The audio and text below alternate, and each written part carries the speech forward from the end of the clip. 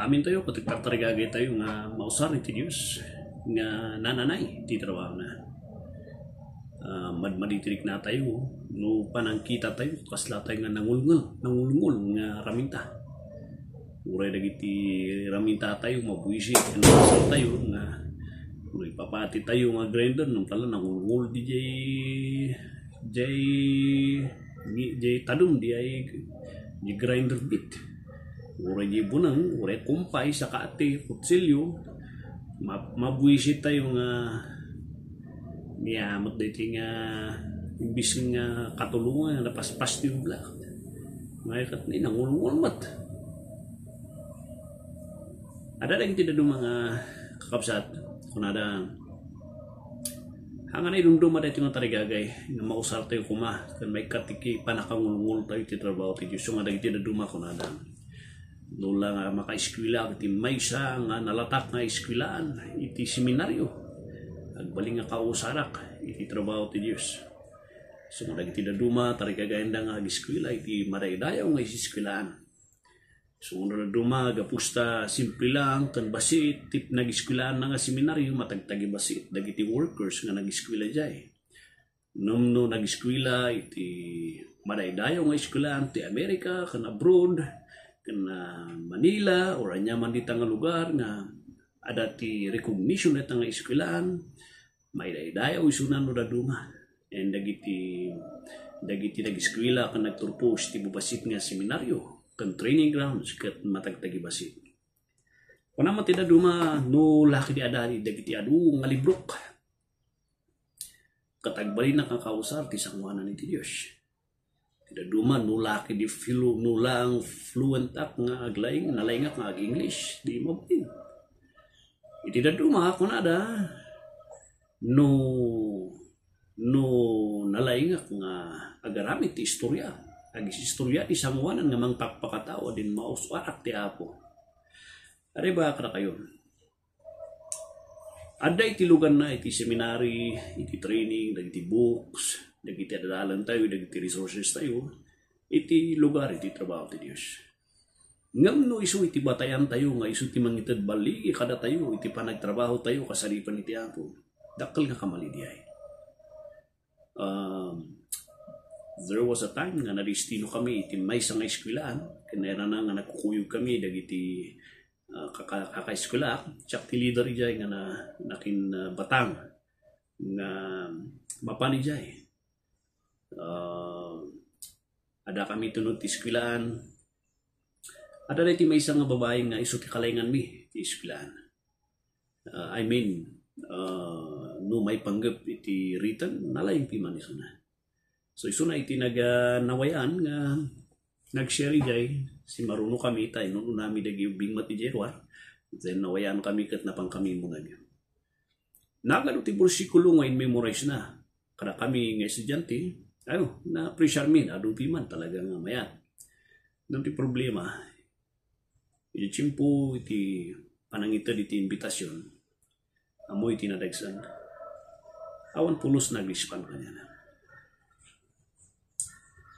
Aping nga kasjay, kinadadu iti bersikulo nga muna, nagadutin lawat-lawat na nga halos may isang oras na aping nga kasjay. That is because, kuna tayo, haan nga ti pagapuan iti panaka panakabalin ti panagserbi ti Dios kat hangag tao iti kinalalaing nga agsaw. Iti po iti amin nga panakabaligi iti trabaho ti Dios kat ti po nakat nakadipindar iti Santo Espiritu. Iti libro ti Acts chapter 16 verse 14 Kunati sa ti Dios and a certain woman named Lydia, a seller of purple of the city of Thyatira, who worshiped God, heard us, whose heart the Lord opened. Namin ano ngayon mention ko na ito yung adult tayo, but I would like to focus no sino itinanglukat iti puso ni Lydia. Amuyo kanino niya tinanglukat iti puso ni Lydia? It was not the skill na Apostol, Apostol Pablo. It was not the fluency iti panagsasao ni Apostol Pablo. It was not gemited. the Lord, it is the Lord who opened the heart ni Lydia. That the Lord nga dahito kat it is identified as the Lord of the harvest in Matthew chapter 10. In John chapter 10, nga na ti John chapter 15, it is identified nga the comforter isu ti trabaho na who is the Holy Spirit nga isura ti manglukat ti puso kong panunot nga mangitad iti kinagpaiso he will testify of no sino ni Kristo and isunod ti makinbiyang nga maawatan tayo ti kinasya sino ni Yesu Kristo. Therefore, dahito ti pangkitaan tayo. Nga urin no ada kanyang amin nga resources numnuhaan kang agpapaytura iti Santo Espiritu. It is just like ada kay ti adaan kay ti barbaro nga power tools ngam ngulngulmat jitadum na. Useless. Dahito iti nga mawatan ti kaduan. Kunada nung napintas ti panagbadbado, napintas ti ituram, Mura duma very conscious da una iti baro da, iti tsura da, iti na plancha nga buhok da. Well, mayat da gaya, tapno presentable nga kuna. Namlaglagi pa nila ito eh. In all dagitoy, the only one that can open the heart of a man and a woman nagbabawi suna kat suutan na ni Apo. Kat sino? It is the Lord of the harvest. Ura iti pa nag-record ko nga ito eh. Dahito iti diferensya iti entertainment ngayon tayo. Iti entertainment masapol agarami ka iti katawa that will arrest their attention. Arabidam ti bagim kasla ka nakatkatukan, nakatkatawan to the point nga agbaling nga kapupukaw pa'y respeto miti iti tsura mo nga king kinupurmiti tsura just to look at yourself, just to make yourself nga funny. And yet, yararamidan na kita entertainers. Kada tayo, different siya. We are not entertainers. I am not an entertainer. I am a preacher, it is all the years. While I, I'm speaking iti eh, and i-post iti record tayo. Tada di puso ko't Lord, Diyos Santo Espiritu, sika iti apo, na manglukat iti kapanutan na na tao. Luktam ti puso kung panunot na iti nga tao tanu awan ka nga mga rami diay. Awan ka pa pananada ito records tayo. Uri basit man lang a statement, iso na duma, makonscious ta iti panag-share ti Saudi Apo, baga tayo hantay nga fluent, hantay nga nalaing, aday ba kada kayo? Haan nga masapul, nga naglaylay ka nga agsaw. Uray manula nga sentences ti ni Batam. Umanay di dyan nga usarin ti Santo Espiritu na ipaturay tayo ti Santo Espiritu, at dipindal tayo ti Santo Espiritu umanay di ay na mangdanon ti puso ti tao. Oh, I am reminded of one situation, di COVID. Ada na iti may isa nga kasinsin ko, ka natamaan ti COVID. Talaga nga madi, ti panagangis na. Uray siya natamaan kami di, kasi manunuray ti may isa nga kasinsin ni. Kunak kanya na. Oh, kita ma bro. Kita ma bro. Ingat ah, tani makita kat mga angsan nga nagrigat nga mga angsan madi na mo tagpadmi tamo tay mat nga no di hospital karkaro. So ay trilatan nagpa-isolate isuna. Mo na kanya na. Kita man unay salakan ka. Baka ka di madamdama kat numapanti umay ni ko katawanan, umay ni patay katawanan. I have no intention nga na duma. It's just a one sentence nga ni batak kanya na not knowing nga uh, inusal ti apo di nga nang tulong nga ng usik nga kinita na iti bagina nga salakan na katagpaiso gusto nga di ko na ni manong iso kuna na kanya idi ni batam di dyan nagungun di riknak in-examine ko nga dagos ti nabutak ti riknak nadanagan na kagpaiso ka di nga naisalakan na Could you see It is just a simple statement. Ngum no inusal ti Santo Espiritu di ay agtalot tayo ti panagtrabaho ti Santo Espiritu. Haan kung in-explain kanya na ti kasi kasi it's just one sentence but that is enough. Nga nang batak itirik na na. And I heard a lot of testimony nga kasimot lang. No da duma. Ada nga ko na tayo nga rimuar nga sa ungay.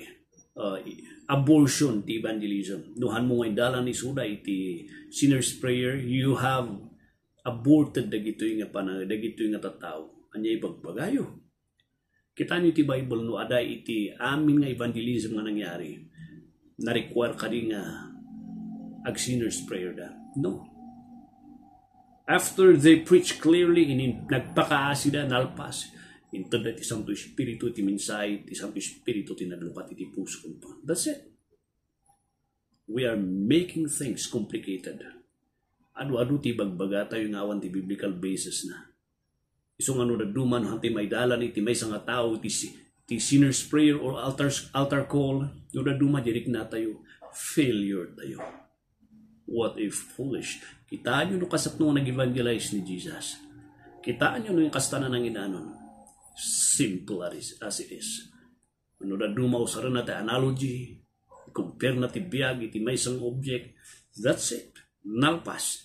Let the Spirit of God work iti life da. Agpakaasi ti kanyada. We beg them.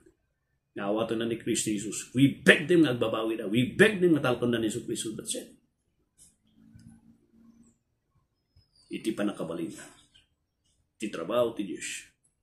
Katagtao da. Iti Santo Espiritu. Uray pa nagsunglid. The same thing.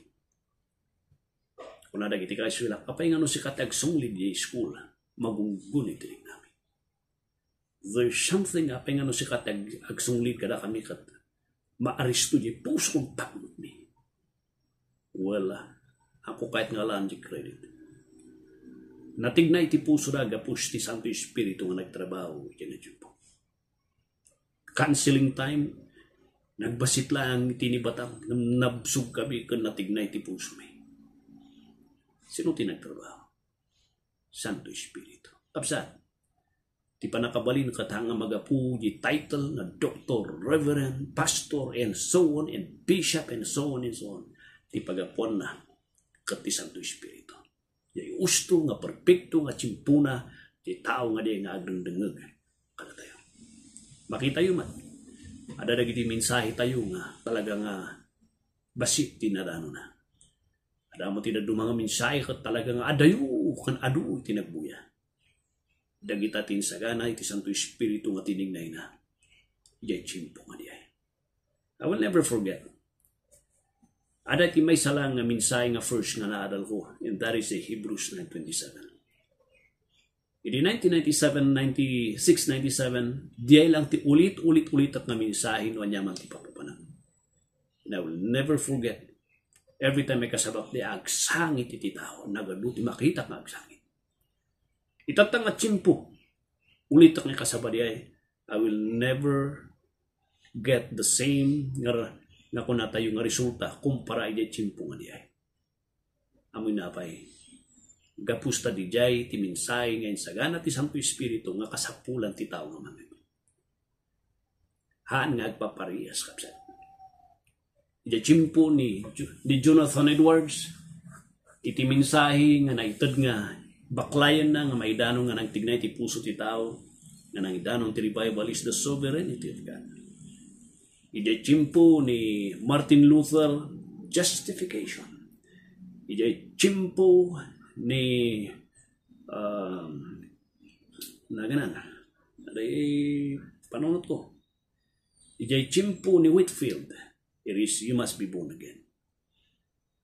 That's how the Spirit works. Hanga kaslang entertainment. Our effectiveness. Iti effectiveness, iti mensahe tayo.